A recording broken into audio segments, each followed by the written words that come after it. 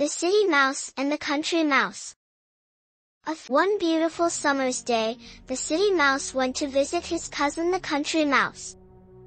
The Country Mouse had a humble home. He ate plain food like corn and peas. The City Mouse was not impressed. No, sir. Cousin, come with me to the wonderful city, said the City Mouse. The Country Mouse agreed, and they set off together. Oh my, said the Country Mouse when he saw his cousin's grand home. A feast awaits us, said the City Mouse proudly. The cousins secretly began to eat wonderful, delicious foods like ham and chocolate cake. Suddenly, they heard noises. A cat with sharp claws appeared.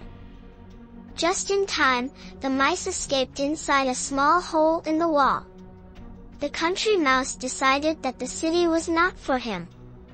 He made his way back to his simple home where he was safe and happy. The moral of the story is, there's no place like home. Thanks friends for watching. Please subscribe my channel.